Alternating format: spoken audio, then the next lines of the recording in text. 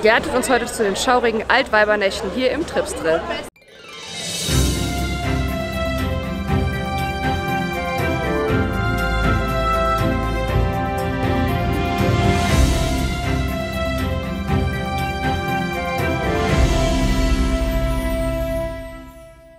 Hallo meine Lieben, schön, dass ihr wieder eingeschaltet habt zu einem neuen Video hier aus Tripsrill. Obwohl es eigentlich das erste Video ist, was ich hochladen werde. Aber ich habe euch schon, oder wir haben heute schon einen Tag in Tripsrill verbracht. Und jetzt geht es auf die schaurigen Altweibernächte. Mein erstes und mein einziges Halloween-Event dieses Jahr. Und äh, genau, wir stehen schon bereits in der Schlange. Äh, man muss den Park nämlich verlassen, die Tagesgäste, um dann zu den schaurigen Altweibernächten rein zu dürfen. Ähm, das Ticket kostet 22 Euro für den Abend. Es gibt vier Maces und eine, ähm, eine Gruselzone, also Gruselzone, das zeige ich euch später noch auf dem Flyer. Und äh, es gibt auch Fastpässe, also ein Kombi-Ticket für 39,50 Euro, glaube ich. Da hat man dann Fastpässe zu den Maces, aber das war leider schon ausverkauft, als wir gebucht haben. Und deswegen gab es das nicht mehr. Das heißt, wir müssen uns ganz normal anstellen. Mal gucken, es ist schon einiges los hier in der Schlange. Und ja, ich gucke mich, glaube ich, 8 Millionen andere Menschen an, wie ich hier gerade stehe. Aber das ist in Ordnung.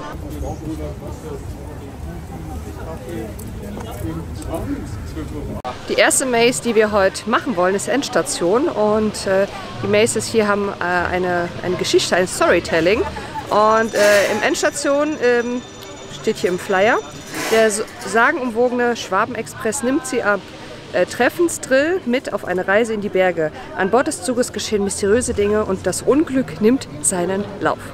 Äh, alle Maces sind übrigens ab 12 Jahren ähm, geeignet, aber Kinder zwischen 12 und 16 Jahren müssen in Begleitung eines Erwachsenen sein. Ich bin sehr gespannt. Film ist leider nicht erlaubt in den Maces, aber ich erzähle euch dann danach, wie es mir gefallen hat.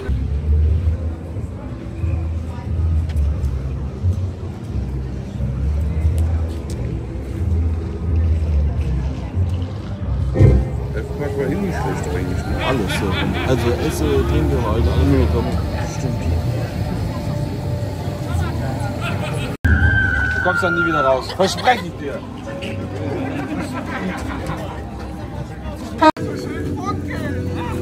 Herrlich, herrlich, neue Gäste. Herzlich willkommen hier an der Endstation. Geht's euch gut?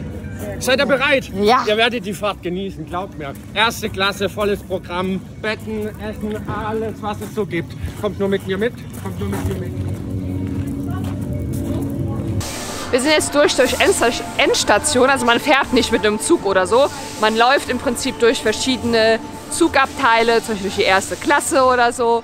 Und ähm, ja, also ich finde es wirklich äh, sehr gut gemacht. Ein ähm, paar Jumpscares, äh, aber alles human. Also ähm, ich bin ja so, ich, ich antworte denen ja, wenn die fragen, wie habt ihr Hunger oder so, dann, dann sage ich was dazu. Ja, also wie gesagt, wir interagieren, wir interagieren mit den äh, Schaustellern, genau. Verschiedene Räume, wie gesagt, ähm, auch Blitzeffekte tatsächlich, ähm, bisschen dunkel, Nebel, aber wie gesagt, alles äh, relativ human. Die Schausteller sind super. Also für die erste Maze muss ich sagen, äh, bin ich schon sehr begeistert.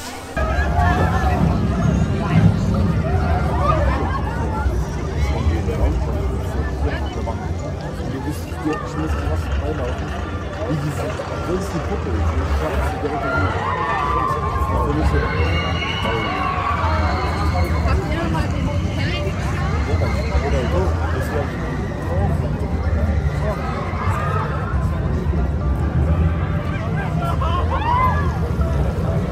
Wir stehen jetzt bei Erntet Furcht an und also die Schlange ist extrem lang. Also ich schätze eineinhalb Stunden, Sinan sagt zwei Stunden. Und der Park hatte nur noch bis 10 Uhr offen. Also wenn überall so viel los ist, werden wir auf gar keinen Fall alle Maces schaffen. Ähm, ja, der Fastpass wäre dann hier sehr praktisch gewesen, aber der war natürlich ausverkauft, als wir ähm, gebucht haben. Wir hätten ihn sonst natürlich auf jeden Fall gekauft. Also ich glaube, der Fastpass hier vor allem an einem Samstag. Wir haben heute nämlich äh, noch mit jemandem gesprochen, der hier die, auch in den Maces arbeitet. Jetzt muss ich mal kurz mit meinem Hocker hier weiter äh. Ja, ich habe wieder meinen Sitzhocker dabei wie letztes, letzte Woche im Distilent. Ähm, er meinte, freitags ist immer generell weniger los als samstags. Also äh, ja, wenn ihr die Möglichkeit habt, vielleicht kommt ihr freitags oder holt euch den früh genug den Fast. Das ist eine Wahrsage.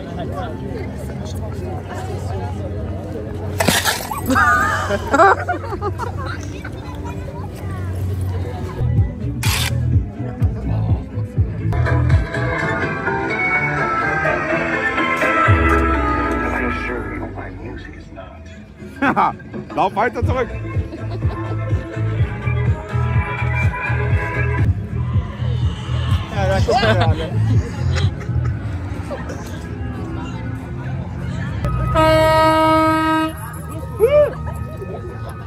Wir können aber ja Funzen ausmachen, ihr Nerv.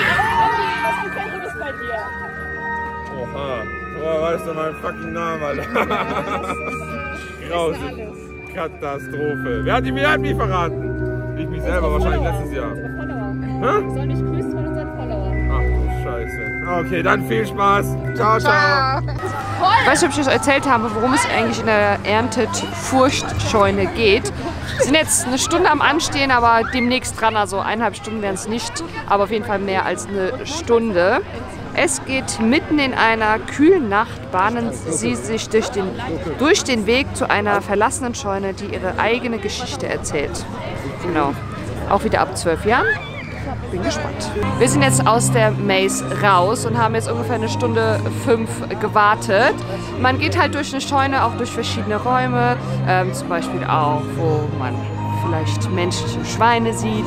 Und ähm, auch echt gut gemacht, was ich wirklich sagen kann. Ähm, dass mir die Darsteller tatsächlich am besten gefallen in den Maces. Die sind äh, richtig interaktiv und machen echt gut mit. Und was ich auch positiv sagen kann, in den Warteschlangen, man hat ja jetzt lange gewartet, kommen ja auch, habe ich euch ja vorher schon gezeigt, haben auch, kamen auch viele ähm, von den äh, Mitarbeitern und haben einen bespaßt. Also äh, ja, echt positiv, aber ab 12, also mit zwölf Jahren hätte ich mich nicht in die Maces getraut. Das heißt, ähm, ich würde die Maces nicht ab zwölf Jahren empfehlen, auch wenn die Eltern dabei sind weil ich glaube, ich wär, hätte ein Trauma nach den Maces.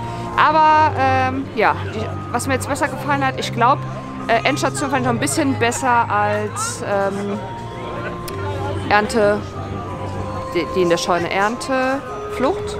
Was ist das? Erntefurcht? Erntefurcht, glaube ich. Erntet Furcht. Und hier könnt ihr mal die Wartezeiten sehen für die Maces. Zwischen 50 und 75 Minuten. Unter die Haut haben wir tatsächlich auch noch nicht gemacht. Also uns fehlt es noch im Bann des Abenteuers und unter die Haut. Also die längste und die kürzeste Wartezeit.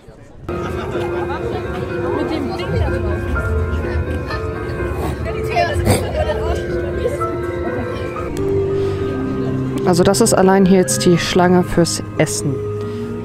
Klar, es gibt verschiedene Essensstände und Getränkestände, aber auch die Glühweinschlange war genauso lang. Also ich bin der Meinung, dass zu viele Tickets für die Kapazität verkauft wurden. Also entweder man erhöht die Preise und senkt die, senkt die Kapazität oder keine Ahnung. Aber es ist auf jeden Fall viel zu viele Leute für die, also es sind viel zu viele Leute im Park für die Sachen, die angeboten werden. Ähm, weil im Prinzip hat man ja nur drei Stunden von 7 bis 10 Uhr was von der, von der Veranstaltung und wenn jede Maze eine Stunde Wartezeit hat, dann kann man sich ja ausrechnen, dass man an einem Abend nicht alle Maces schafft, also wenn Samstag ist. Da seht ihr jetzt mal die Preise. Ähm, eine Bratwurst kostet 3,90, Currywurst mit Brötchen 4,50 Euro, äh, Currywurst mit Pommes 7,50 Euro. Es gibt auch schau, schummrig heißen Wein, also Glühwein für 3,50 und alkoholfreier heißer Punsch kostet 3,20. Jetzt hier mal so ein paar Preise.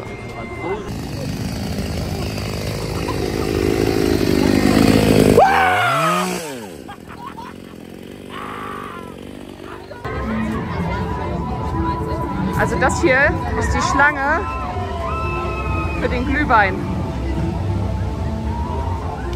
Ja, und so sieht es überall aus fürs Essen, für die Getränke. Das ist die Schlange für Carajo.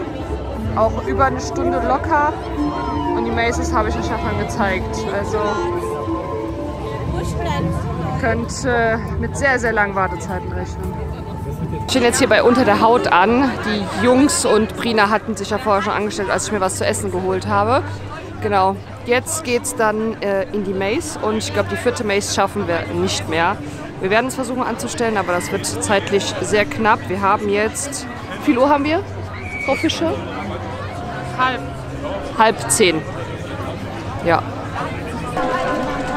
Wir sind jetzt aus Unter die Haut raus und ich habe euch vergessen zu erzählen, worum es denn da geht. Gepackt vom Wahn des Perfektionismus hält eine wahnsinnige Schneiderin ihr Leben am seidenen Faden. Keiner wird mit heiler Haut davonkommen. Das ist tatsächlich die neueste Maze, aber für mich tatsächlich die schlechteste gewesen. Ähm, ich kann es gar nicht definieren, warum. Ähm, was sagst du, Sinan? Was würdest du sagen? Warum? Also gefühlt waren die Leute vorher viel zu langsam gelaufen. Ja, das Tempo der Vor ja, die Vorgänge waren halt tatsächlich zu langsam. Ähm, das heißt, wir haben sie eingeholt und dementsprechend waren natürlich die Scares dann nicht mehr ähm, überraschend oder da waren halt schon die Leute draußen. Deswegen war es dann halt ähm, ja, ein bisschen schade. Also für mich jetzt äh, heute dann Platz 3. Endstation ist bei mir immer noch Platz 1. Meine ich ja mit Süßigkeiten. Wir haben jetzt 20 vor 10. Wir versuchen es trotzdem jetzt nochmal bei im Bann des Abenteuers, ob wir da jetzt noch drankommen. Ähm, in der letzten Maze geht es über die sieben Schwaben, sind einige Geschichten überliefert, aber längst nicht alle. Eine magisch, ein magisches Gemälde im Haus der Abenteuer öffnet einen Blick in eine bisher unentdeckte Welt. Wir haben doch jetzt alle vier Mazes geschafft, also anscheinend haben sie um 10 Uhr dann die Schlangen geschlossen. Ja, war auch eher einer der schwächeren Mazes, ähm, fand ich jetzt. Ähm, gab hier und da natürlich einige sehr interessante Momente, aber bei mir bleibt immer noch Endstation auf Platz 1 und zweite dann die Scheune. Als drittes würde ich das mit dem, mit dem Puppenhaus machen. Ja, da kommt gerade jemand. Ja, äh, die gehen jetzt auch schon nach Hause. Genau. Also tatsächlich, so wie, sie, so wie wir die Mazes besucht haben, so würde ich sie auch ranken von 1 bis 4. Was wir jetzt leider nicht geschafft haben, ist die Scare Zone auf dem Jahrmarkt. Weil da war auch eine lange Schlange und die haben wir jetzt leider dann nicht mehr geschafft, weil wir haben jetzt glaube ich schon, was haben wir? Das ist halb elf. Ja, zum Abschluss des Tages muss man bei der Toilette auch wieder anstehen. Genau, wir haben jetzt halb elf, wir haben es tatsächlich geschafft. Also Attraktionen und Mazes haben wohl bis einschließlich 10 Uhr geöffnet und dann schließen die Attraktionen und auch die Mazes. Wie gesagt, die Scare Zone haben wir nicht. Kannst du nicht? Nee, weil wir stehen. Aber wenn ich weiter weggehe, stehe ich. Ja, Brina hat gerade parallel äh, gesprochen. Ich dachte, ich lese, äh, rede leise, aber ich habe sie wohl aus dem Konzept gebracht. Ähm, genau, also das heißt, ähm, ja, eine Sache haben wir nicht geschafft. Und was ich halt ähm, schon vorher angemängelt habe, ich glaube, es ist zu günstig und es sind zu viele Menschen hier, äh, vor allem an einem Samstag. Ähm, es ist chaotisch, man steht überall an, ob es jetzt Essen ist. Klar, man muss in, man muss in Freizeitparks eh immer anstehen, aber ähm, ja, das ist hier schon sehr unorganisiert gewesen. Ähm, schade, aber die Maces an sich fand ich schon schön, vor allem die, die Actors in den Maces haben sich echt Mühe gegeben. Das ähm, ist ja auch nicht vom Park selbst, soweit ich das weiß, betrieben, sondern von den Mais Maces. Das ist, glaube ich, ein Verein oder eine Organisation, die das dann hier jedes Jahr macht. Genau, unter die Haut war ja die neueste Attraktion oder die neueste Maze, aber für mich war Endstation immer noch am besten. Ja, das war jetzt hier unsere, unsere, meine erste und einzige Halloween-Veranstaltung dieses Jahr. Und habe ich ja schon mal gesagt, äh, für Kinder ab zwölf Jahren finde ich es nicht tatsächlich, also ich würde mein Kind, glaube ich, nicht ab zwölf Jahren da reinstecken, aber das ist natürlich, jedes Kind ist da anders. Und, ähm, aber ich hätte als Zwölfjährige auf jeden Fall Angst äh, in den Mazes, aber ich bin ja auch ein sehr schreckhafter und ängstlicher Mensch, was sowas angeht. Ich gucke ja auch keine Horrorfilme. Ja, das war jetzt unser Abend hier, sehr durchwachsen. Ähm, aber wir hatten dennoch ähm, viel, viel Spaß. Ja, ich hoffe, dieses Video hat euch gefallen. Wenn es euch gefallen hat, lasst bitte einen Daumen nach oben da, abonniert den Kanal, drückt auf die Glocke und dann sehen wir uns beim nächsten Mal wieder.